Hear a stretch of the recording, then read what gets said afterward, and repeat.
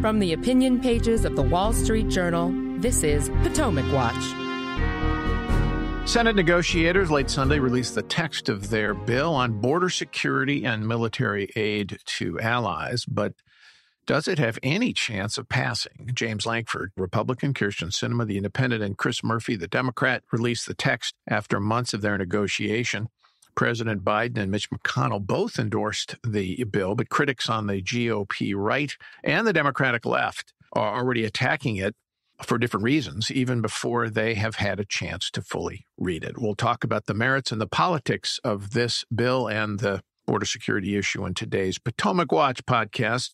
Welcome to you all. I'm Paul Gigot with the Wall Street Journal editorial page, and I'm here with Kim Strassel and Kate Bachelder, who have been following this negotiation all along and trying to delve into this very long bill 380 pages, 280 pages of it are on border security. And since the final draft was released only Sunday night, we are still trying to absorb all the details and the fine prints. And forgive us, dear listeners, if we aren't fully aware of all of the nuances. But overall, if I am permitted a editorial comment, I can say that this is the most restrictive immigration border security bill in 100 years since the 1920s.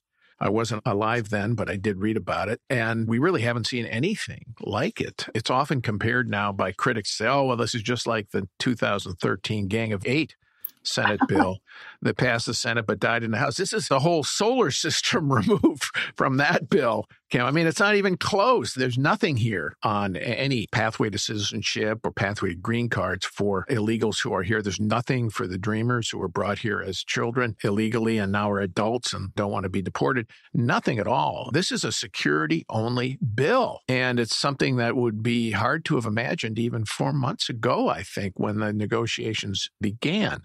Kim, so what's your impression? Yeah, I couldn't agree more. When you think about the fact that a couple months ago, Chuck Schumer was saying there will not be any policy whatsoever in this bill that we come up with. We'll throw some more money at the border, but that's it. And now we have this. Anyone who is suggesting that this is equivalent to the prior Gang of Eight either wasn't there or is willfully misleading people or just doesn't know what they're talking about. I think just a couple of highlights I'm going to point out here to give a flavor of that. So right now, you know, if you show up at the border, you come across, you're essentially waved through. You're given a work permit upon stepping foot on American soil and then everything is so backlogged, you get told, we'll see you maybe in seven or 10 years. For their asylum hearing. Their official hearing, yeah. correct? And in the meantime, that's seven or 10 years where people can have children on American soil, develop lives, uh, jobs, become that much harder to ever remove them again if they don't meet the threshold at that ultimate asylum hearing. Under this new situation, you're going to show up immediately, be screened by an asylum officer. There's going to be a higher standard that you have to hit when it comes to credible fear. There now has to be a quote, reasonable possibility that you are in danger. We could get into the distinctions of that, but that is a much higher standard. One of the things that will also count is could you have relocated in your country of origin to have escaped whatever it is that you have a fear of. And then if you don't meet those standards, you will be turned away. If you are offered to get through that first screening, you will then receive an actual interview as to whether or not to make a final adjudication on this within 90 days. And those things will also include background checks and another of other higher standards, all of which are going to make it tougher to come and stay in the United States, significantly more so. Also, there's going to be more detention beds, a greater emphasis on keeping people in detention while they wait for that final hearing, and a lot more emphasis as well for those who really can't be kept in detention on alternatives to detention that require monitoring, curfews, maybe ankle bracelets, and very stiff penalties if you don't show up for that interview. And then a whole bunch of mechanisms as well where the border shuts down if the numbers get too high. Yeah, we can go through that so called emergency border shutdown bill in a bit. But Kate, what Kim is talking about is essentially the end of what has been called catch and release that you go into the United States you actually seek out a border patrol agent because you want to then be able to make an asylum declaration. They say, What's your credible fear? They give you a very cursory interview, and then they go, okay, and release you into the interior of the United States. And you wait four years, five years, seven years, 10 years, whatever it is. It's a very long time. Now, this under expedited removal provisions of this bill, there will be a 90 day adjudication. So, why this matters in particular is it, it really changes the incentives for migrants to come here because now the incentive is if they take the time, take the risk, take the expense of paying off those uh, coyotes, the gangs that escort them to the border, they can pretty much figure they're going to make it here. But now, under this bill, they would have a much, much stronger chance of being deported. Right. I think that's right. I mean, if you look at how some of these new asylum screenings would work, like we've been talking about, you have to pass just a much higher standard at the beginning of the screening process, which is how it should be. It's worked for so long now as if you seem even vaguely credible to have asylum that you get released into the interior. And that backlog of people who are waiting for their hearings has just gotten so long that that's why it takes seven eight ten years to get people through this system. So to your point what matters here is the underlying incentives for folks to come to the border. Now republicans have been saying including donald trump in 2018 said he needed a change in the underlying law to get a control of the asylum process. Because the truth is, you could build a wall, but if you can just go up to a border agent and claim asylum, that loophole can be exploited. So you need to fix this underlying process. And Republicans have wanted to do that for some time now. So that is maybe a political question, but it does hammer home that I think the asylum provisions are the core of this law and are the things that you can't just rely on an executive to do. All right, we're going to take a break. And when we come back, we'll talk more about the merits and the politics of this Senate border bill when we come back. Welcome back. I'm Paul Gigot with Kate Dell and Kim Strassel here talking about the merits and the politics of the new Senate bill on border security and aid to Ukraine. Let's listen to James Lankford. He's the Republican senator from Oklahoma who has been the lead negotiator for the GOP on this bill. Are we as Republicans going to have press conferences and complain the border's bad and then intentionally leave it open after the worst month in American history in December? Now we've got to actually determine are we going to just complain about things or are we going to actually address and to change as many things as we can? If we have the shot, and it's amazing to me, if, if I go back two months ago and say we had the shot under a Democrat president to dramatically increase detention beds, deportation flights, lock down the border, to be able to change the asylum laws, right. to be able to accelerate the process. No one would have believed it. And now no one actually wants to be able to fix it and says, I don't want to even debate it. I don't want to discuss it.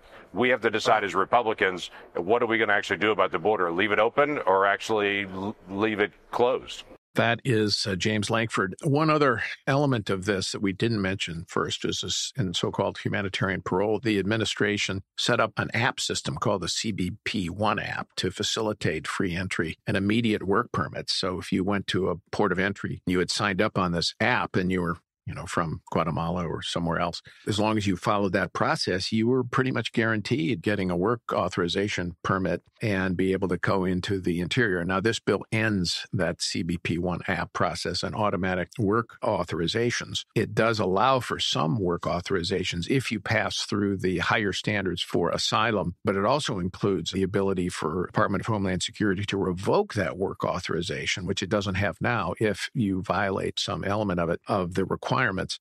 Uh, there is also here, Kim, something called emergency border shutdown provision, which is that if over the course of a one week average of 5,000 migrants a day reach the border, which we've had for the most of the recent weeks, over the course of 5,000 a day on average over seven days, automatically the border shuts down quite a while until the border patrol folks can get the numbers down and the migrants processed. This is a really important element to this, Paul, because I think I would think of this as kind of a two-step question in that I think the authors of this bill, and by the way, just a quick note for James Lankford, you know, my view is that it's divided between those who just like to go on television and do sound bites and those who actually do the hard work of diving into policy.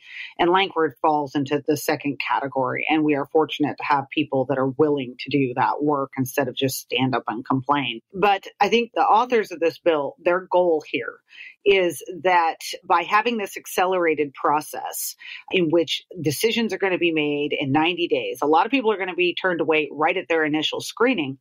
But even if you manage to get through and wait until an interview, that's going to be done in 90 days. And the idea is that is supposed to be a huge disincentive for people to make the trip unless they think they really have the goods to get in. Because right now, the entire incentive system is get in, have a kid or two here, make it that much harder. You know, maybe your number will never come up. You're just going to be here 10 years, by which point it'll be too late for them to remove you. But by making it quick, the entire message is don't come unless you think that you can get in.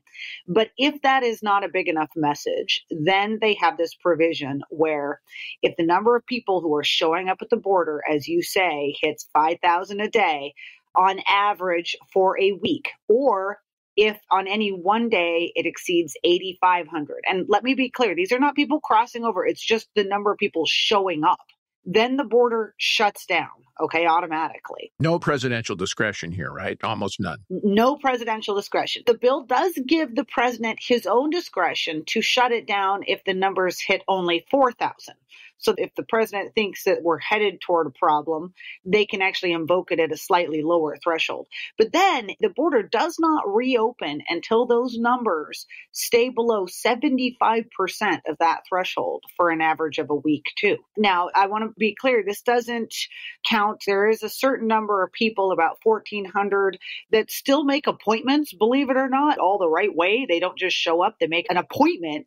Those will continue. But this is just the number of people. If they're just showing up at the border, all those pictures we've been seeing the last months, there's going to be automatic border shutdowns. Yeah, that's really interesting. Kate, the role of Jim Lankford here has been really pretty interesting. This guy's no squish. I mean, he's not a Susan Collins moderate from Maine. He's a bedrock conservative, and he'd been just deputized to get into this and, and really has uh, dived into the details. We got a briefing from him on Saturday on much of this, and he clearly is conversant on all of these details. And for his work on this, he's being vilified as some kind of sellout, and you might as well think that he is, for what you hear on the political right, Bernie Sanders. Right, Paul. I mean, if you go back to the fall, the reason that Lankford was tapped to lead negotiations for the Republican conference is because he had credibility across the conference and especially with conservatives. He replaced Tom Coburn in the Senate. He is a well-known social conservative, has an A plus pro-life rating.